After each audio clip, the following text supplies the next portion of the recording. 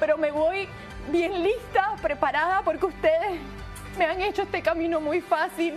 ¿Ya estás suscrito al canal? Activa la campanita para que te lleguen nuestros videos. El equipo de Exclusivas TV. Vanessa Claudio en llanto abandona suelta la sopa. Entre lágrimas, la panelista rompió en llanto y empezó por agradecer a sus jefes por la oportunidad de permanecer a la familia de Suelta la Sopa. Las despedidas nunca son fáciles, pero como bien decías, es un hasta luego. Yo sigo siendo parte de esta gran familia de Suelta la Sopa. Yo solamente tengo palabras de agradecimiento por el crecimiento, por la oportunidad con High Hill, con Powwow. Carlos, gracias por ver algo en mí ese día en el casting. A sus compañeros en pantalla también tuvo unas palabras muy conmovedoras. Juanma, gran jefe de contenido. Aileen, gran compañera. Jorge, siempre me alegra el día con tus chistes. Pero sin duda alguna, quien se llevó gran atención fue su compañero Luchito Borrego.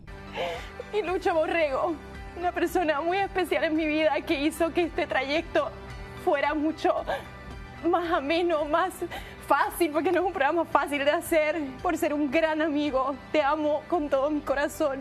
La panelista se despidió con palabras muy reflexivas. Uno escribe el guion de su vida y es así como Vanessa emprende vuelo y se va a probar suerte en otros horizontes. Esto simplemente soy una chica soñadora que se presentó una oportunidad y pues vamos a hacerlo mi productor dice que uno escribe el guion de su vida, así que yo estoy tratando de escribir el mío. Los quiero.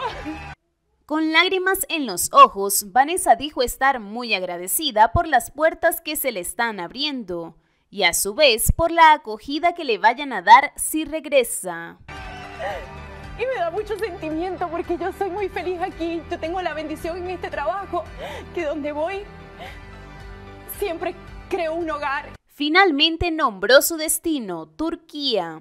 Hoy mismo en la tarde me voy a Turquía, al otro lado del mundo. Estoy nerviosa, pero me voy bien lista, preparada, porque ustedes me han hecho este camino muy fácil. Me han dejado un camino de una mujer fuerte, lista para cualquier, una mujer de todo terreno. Vanessa, te queremos. te queremos. Finalmente podemos ver en sus historias cómo emprendió maletas. Con 19 maletas llegué a Miami, con 13 me voy.